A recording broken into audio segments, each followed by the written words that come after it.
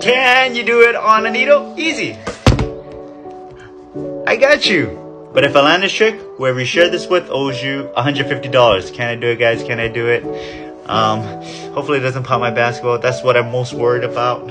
Okay, here we go, guys. If I land this trick, guys, please show me some love. Here we go. One, two, three. What? I did it! Let's go!